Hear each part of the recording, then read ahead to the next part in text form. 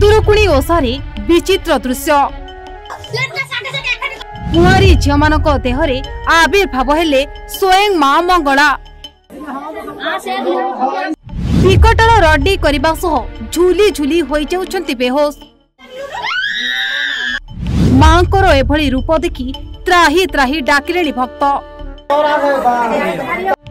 ପଣା ପିଇ ମା ହେଲେ ପ୍ରସନ୍ନ ଆସିଲେ ଦୋଳି ଖେଳି ଚାଲିଗଲେ।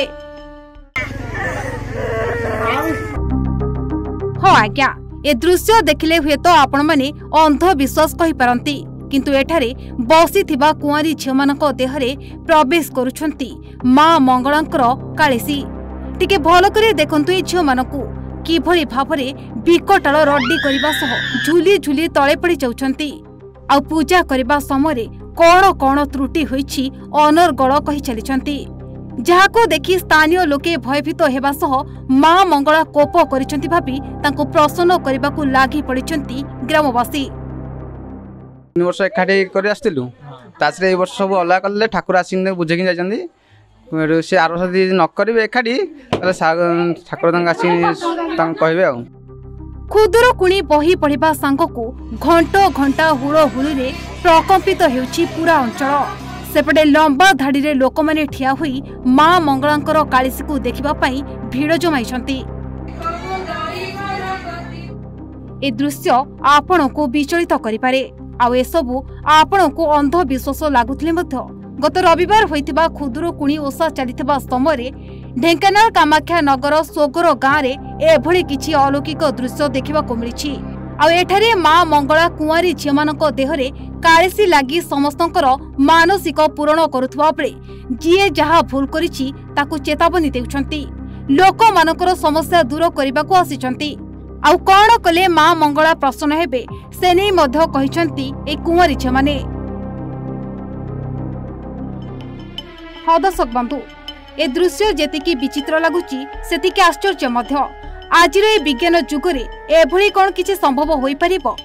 ସତରେ ଆଜି ବି କଣ ଦୈବୀ ଶକ୍ତି ଲୋକମାନଙ୍କ ଦେହରେ ପ୍ରବେଶ କରୁଛି?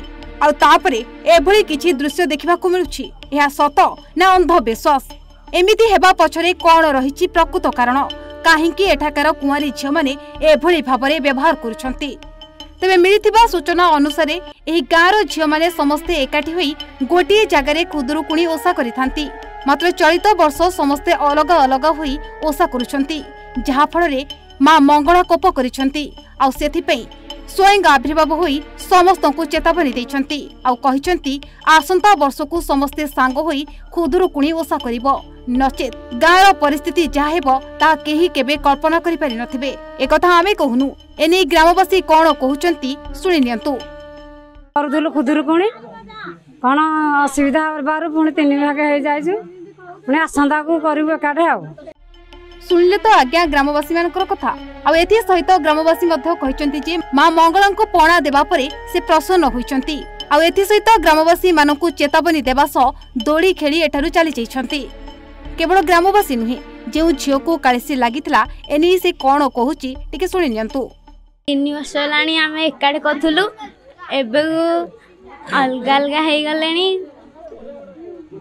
ସେଥିପାଇଁ ଦୁଃଖ ଲାଗୁଛି ପାଇଁ ମୋ ଦେହରେ ଆଜି ଠାକୁର ଆସିଥିଲେ ମୁଁ ନିଜେ ବି ଜାଣିନି କ'ଣ ହେଇଛି ଶୁଣିଲେ ତ ଆଜ୍ଞା ଗ୍ରାମବାସୀ ମାନଙ୍କର ଏହି କଥା ଏହା କେତେ ଦୂର ସତ ଆଉ କେତେ ଦୂର ବିଛ ଏହା ସ୍ପଷ୍ଟ ହୋଇନି ତଥାପି ଗାଁ ଲୋକମାନଙ୍କର ବିଶ୍ୱାସ ମା ମଙ୍ଗଳା ଆବିର୍ଭାବ ହେଉଛନ୍ତି ତେବେ ଆମେ ଏଠାରେ କୌଣସି ଅନ୍ଧବିଶ୍ୱାସକୁ ପ୍ରଶ୍ରୟ ଦେଉନାହୁଁ କେବଳ ଖବର ପ୍ରସାରଣ ମାଧ୍ୟମରେ ଆପଣମାନଙ୍କୁ ସଚେତନ କରାଉଛୁ ढेकाना आशुतोष पात्र रिपोर्ट ओडा भास्कर.